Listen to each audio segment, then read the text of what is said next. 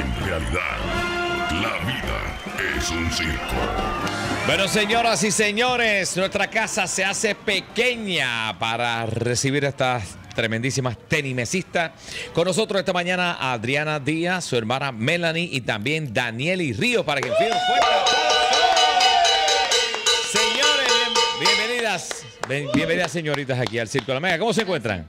Muy bien, un poquito cansada, pero estamos bien. Sí, me- yo pensé que ustedes no iban a venir porque me dicen que ustedes llegaron eh, pasadas las 12 de la medianoche a Puerto Rico, por ahí, bastante tarde. Sí, el avión, eh, o sea, se atrasó en Perú y en Miami, so llegamos súper, súper tarde. Súper tarde y están aquí. ¿Ustedes fueron a su hogar y volvieron para San Juan o se quedaron en San Juan? No, no, Daniel y sí, Sí, pero nosotros yo. fuimos- nos quedamos por acá por San Juan. Sí, porque y tú regresaste. estaba así enmutuado y me levanté temprano. Wow, Wow, Utuado y bendito. volver. Eso merece una medalla de oro.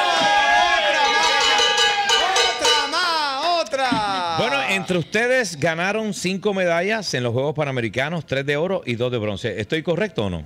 Sí. ¿Cómo, cómo fue esa experiencia de los Juegos Panamericanos? Cuéntame, Melanie. Eh, pues yo creo que fue una experiencia única. La verdad es que gracias a Dios pudimos jugar súper, súper bien y obtener esas medallas para nosotros fue algo súper emocionante. Muy bien. Y para ti, eh, Danieli, cuéntame Bueno. tu experiencia en unos juegos tan importantes como estos. Bueno, realmente eh, nosotras todavía yo creo que no creemos que nos hayamos ganado, ¿verdad? Todas esas medallas de oro, pero estamos, estoy, ¿verdad? Súper feliz de mi equipo y orgullosa y, y nada, esto es un sueño hecho realidad y como dije anteriormente, que esta medalla es para la vida entera. Eso es. Y Adriana, ¿tú cómo estás? ¿Estás chévere? ¿Estás bien? ¿Estás, estás cansada? Sé que estás cansada, se te Sí, nota. Sí, estoy un poco cansada. Fueron días súper, súper largos de muchos partidos y eso, pero al final, pues valió la pena. Eh, salí con tres medallas de oro y una de bronce. Una con ella, otra con Melanie sola y después yo. Mm. Y no sé, increíble, estos días han sido únicos y yo creo que quizás este es uno de los, ¿verdad? de los logros más grandes de, de mi vida. Eso es. Tita, dite algo, cheo, cheo, tita. Es, es- es que el- yo estaba el, el sábado, el sábado fue la final, ¿verdad? El sábado fue la final de, de, de Kibo. Y donde yo lo estaba viendo, estaba todo el mundo pendiente porque estaba habían caído atrás, pero Melanie le metió ahí y sacó la cría. Y cuando, cuando hizo ese punto, todo el mundo se quedó como que... Y ustedes, la cara de ustedes era igual, era como que, ¿en serio esto está pasando? ¿Qué, qué pasaba por la mente de ustedes en ese momento? Te- Dime, Melanie, dime. Eh, pues obviamente yo estaba un poquito eh, nerviosa porque yo era mi partido decisivo eh, y además de que Bruna juega súper bien. Eh, pero en ese momento pensé en que tenía que hacer lo que, lo que fuera para intentar traer esa medalla a Puerto Rico, así que me olvidé del score y de cómo iba y me enfoqué en lo que queríamos En todas. jugar. Sí. Y darle bien duro. Tenemos en las imágenes, me dice el señor director, ¿verdad? Tenemos las sí, imágenes de ese que sí. momento en Tenemos que Melanie gana. Vamos a verlo. Adelante, señor director. Diciendo y de qué manera en este torneo, sirviendo Takahashi. Ancho, el disparo, otra vez buen intercambio. Y ancho y largo por parte de Melanie, el punto 6 para Brasil. Empate a dos parciales, buscándose el quinto parcial del quinto juego entre estas dos potencias de la región Puerto Rico y Brasil. Y largo, largo, el punto 10, el punto 10 para Puerto Rico. Tres oportunidades tendrá Melanie para hacer una historia casi increíble. Al servicio Melanie. Atacando con fuerza.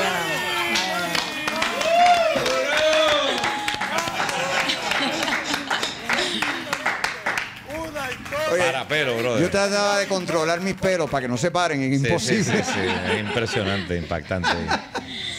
Una Bien cosa, duro.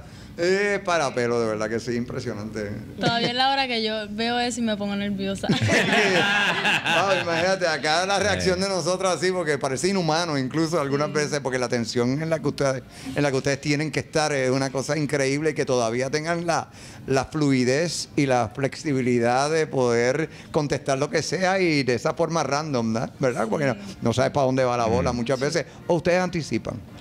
Eh, bueno, depende, eh, depende de jugada. Hay quizás momentos en que tú tiras la pelota a un sitio y tú puedes tratar de anticiparlo. No siempre es 100% seguro, pero muchas veces tú puedes intentarla. Y hay otras que son, vi una jugada tuya, creo que fue en la final, que, que prácticamente diste una vuelta y sin mirar le diste y hiciste el punto después, era como que... Sí, sí, eso ya es reacción. Eso ya como que no, eso uno no lo intenta hacer, simplemente es reacción que le da y el impulso pues te hace dar la vuelta.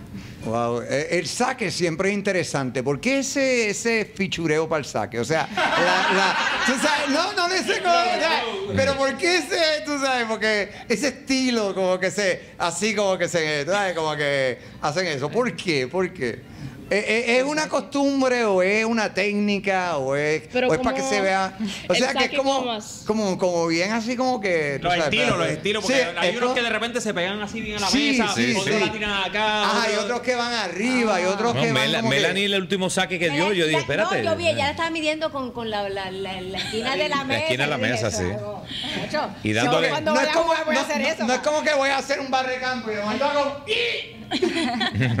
Ah, no. También es, ile- eh, por ejemplo, tú tienes que siempre presentar la pelota antes de sacar. Tú no la puedes sacar debajo de la mesa. Ok. Siempre la tienes que te- tener ahí para En que la el mano árbitro la para que la vea vea. y no puedes bajarla nunca, ni Ok. tirártela para ti. So, prácticamente yo creo que todo el mundo como que... la Ustedes suben la mano y se bajan ustedes. Exacto. pa- Agarrar la bajita. sí, sí. pa- Y la, y la miran. Sí. Y entonces, tú sabes, ahí es como que deciden lo que- cómo van a sacar. Algunas veces es fuerte o es duro, algunas veces quieren engañar, algunas veces quieren eh, engañar a- porque el otro está tratando de pre- o la otra está tratando de predecir para dónde ustedes van a tirar, ¿verdad?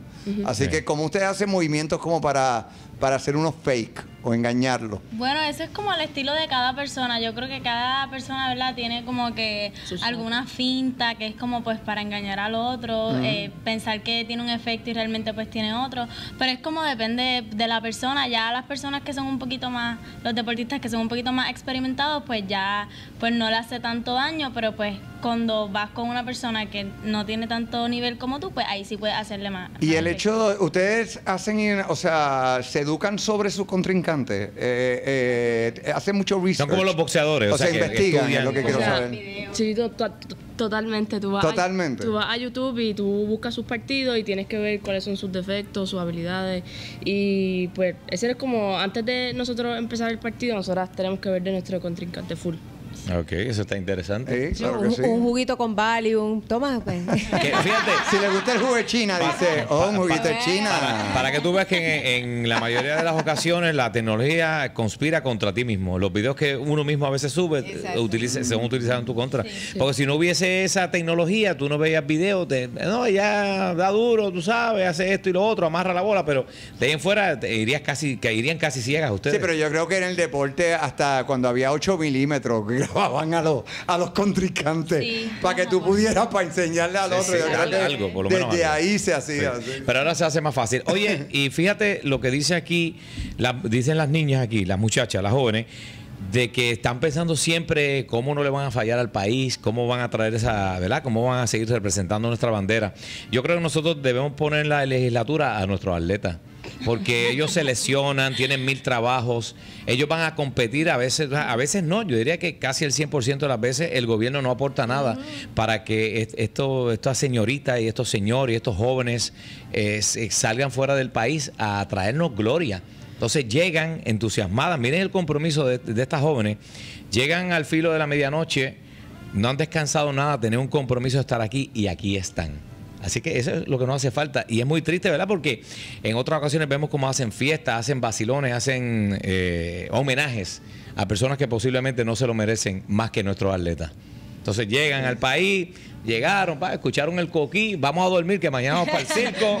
No hay una comparsa, no hay una, una ese recibimiento de parte del gobierno, ya que no invierten en su carrera, por lo menos hacerle sentir que llegaron a su patria y que el gobierno está agradecido de lo que ha hecho por el pueblo. Esas cosas no ocurren. Es, muy triste. Y yo, y Muy yo creo triste, ¿verdad que. sí? Me da coraje eso. Y yo creo que incluso en algunos casos, eh, muchos, eh, muchas personas que son profesionales, que pueden Mm. hablar, eh, hablan de distinciones sobre educación y sobre deportes que yo creo que no deberían eh, hacer. O sea, yo creo que, que yo creo que es tan importante como tú te eduques, o sea, a nivel de, de, de libro y de, o sea, de información general, como que tú te eduques, como que a nivel de, de deportes y tengas tu, tu cuerpo en, tú sabes, como que en perfectas condiciones, porque ustedes tienen, es como que bien tuneado, tu- su, su, eh, como ustedes eh, piensan, como miran, como, como tú sabes, como que ven todo más claro y eso el deporte lo hace porque clarifica la mente, te ayuda muchísimas veces. Yo creo que las dos cosas, la educación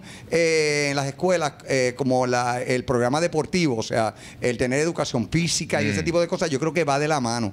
O sea, yo creo que no deben separar o hacer una distinción entre una cosa y la otra. Yo creo que las dos cosas van juntas. Y nosotros, eh, creo que eh, Igor González, yo no sé si tú lo escuchaste, Tony, que él, él dijo lo mismo. Él, él dijo, mira, traemos esta medalla, pero wow, qué, qué difícil ha sido. Y, el trabajo que ha sido. Y nosotros mismos que hemos tenido que agarrar estos uniformes de yo no sé dónde, de un... De un ¿Cuándo fue de, de- que del, mil no- del 2000, qué sé yo cuándo. Eh, porque, sin embargo, vemos los de, de- de otros países que Sí. por más pequeños que sean, Tienen el apoyo. tienen el apoyo. Y Y el yo creo que, que es una cuestión de visión y de, de que nosotros entendamos que es sumamente importante. Y que aquí se han robado hasta los chavos que le tocan a los atletas. Sí, ven. aquí la riqueza personal aparentemente es lo más importante cuando debería ser el desarrollo de Es nuestra duro. población en todos los sentidos Es de la muy palabra. triste, es muy triste eso. Mira, y, y- y obviamente todos los atletas, incluyendo a, a la- las muchachas, siempre dicen ¿no? que, que representamos eh, con orgullo al país, pero hay, hay imágenes que, que,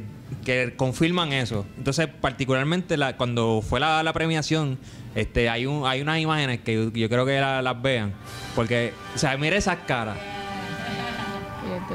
Emocionante, emocionante ha sido O sea, era, era como que todo el mundo que las veía era como que eh, ahí está el orgullo real, ¿sabes? Sí, Se- señor. se bro- brotando por los No, poros, y, como y uno el, or- dice. y el orgullo propio, o sea, la marcha a sí mismo, ¿entiendes? El orgullo de que he logrado una meta en mi vida, como, como dice Sí. Adriana, que es una de las cosas más importantes, momentos más importantes de su vida. Sí, que es correcto, eh, te marca para el Pero resto no de se tu preocupen, cuando yo sea gobernador, Rey, Rey Charlie y su caravana de motocicletas las va a recibir siempre que vengan al aeropuerto, ¿ok?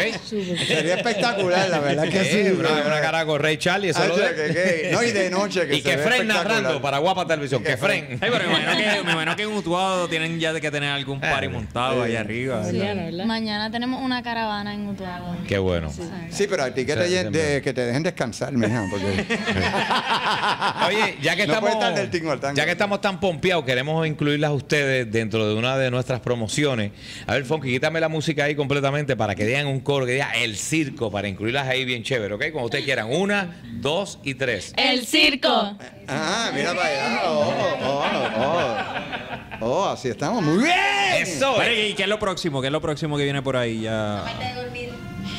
Eh, bueno, nosotras en el 17, el domingo, el domingo, Sábado. sábado. El sábado salimos a República Checa Ya, Sí. rayo. a otro, a otro Pro Tour y después de ahí tenemos eh, eh, el equipo va a intentar clasificar a Tokio. Entonces eso es en Eso va a ser, hay primero un torneo que tenemos en septiembre y luego lo de la clasificatoria a la Estoy. Olimpiada, pues en, en, en octubre también. sí. ¿Hay, hay un torneo específico para eso? Sí, sí hay un torneo en octubre. Así que vamos a estar allí, ¿verdad? Intentando clasificar a la Olimpiada, que sería pues nuestro mayor sueño. Ya Adriana clasificó, así que pues ahora nos toca a nosotros. Eso, ¡eh! Bueno, gracias chicas, de verdad que ha sido un honor tenerlas aquí eh, con nosotros luego de ese éxito ¿verdad? en los Juegos Panamericanos allá en Lima, Perú.